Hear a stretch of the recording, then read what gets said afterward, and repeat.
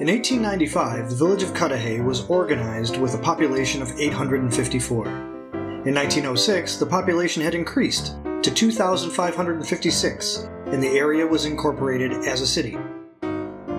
The city now has a population of an estimated 15,600 and covers an area of approximately 5 square miles. Among the city's newest buildings is the municipal building located on the eastern outskirts of Cudahy. Another recent municipal project is the new water utility project, put into operation in 1954. Vincent Totka is the mayor of this thriving city. He's served consecutive terms since 1940. The City Council is made up of two aldermen from each of the five wards. At this meeting, the mayor is conferring with Alderman Kovac, Gregory, Hopp, and Director of Public Works, James Thierry. The term of office for each elected official is two years. The Health Department, with a staff of five, also has its office in the municipal building, along with the Police Department.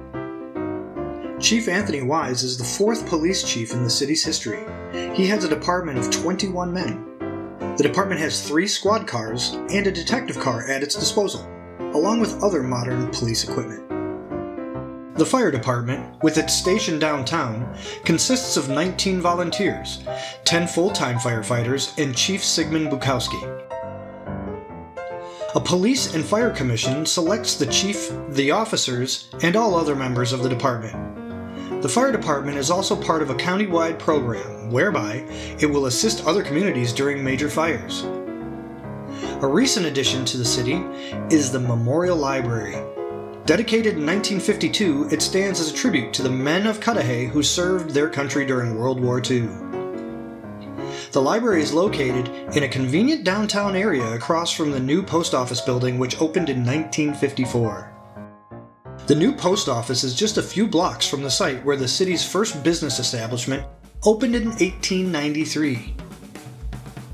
A new YMCA building was dedicated in 1955. The modern building was built at a cost of nearly $200,000 and houses a rifle range and archery ranges in addition to meeting rooms, lounge, and other facilities.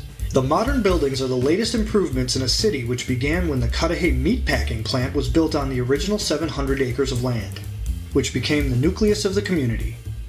About 15 years after Cudahy moved to the area, a man named George Meyer began building automatic bottle washing equipment in Milwaukee.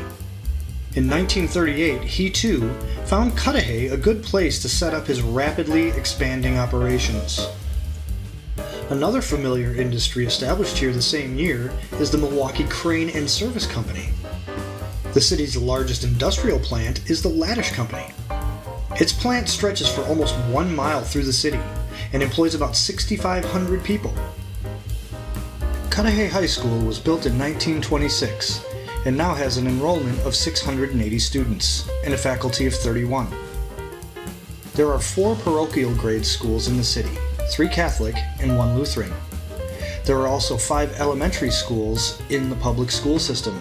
The oldest is Washington School, established in 1895. St. John's is one of three Lutheran churches in the city, and the Holy Family Church is one of three Catholic churches. Cudahy Methodist Church completes the list of the seven churches in the city. Most of the churches have already been built or are planning to build new facilities. The new St. Mark's Evangelical Lutheran Church is one such project. Another construction project underway is the Trinity Memorial Hospital. Located in the southern part of the city, the hospital will serve the communities of Cudahy, South Milwaukee, Oak Creek, St. Francis, and Town of Lake. Not far away, a new school is being constructed to replace the present Lake School, and another school will be built in the Holy Family Parish in the near future. Sheridan Park is a popular recreation area for Cudahy citizens. The 69 acre site was turned over to the Milwaukee County Park Commission in 1928. A historic note concerning the park reveals that it served as a site for a wireless station at one time, the first wireless station in the state.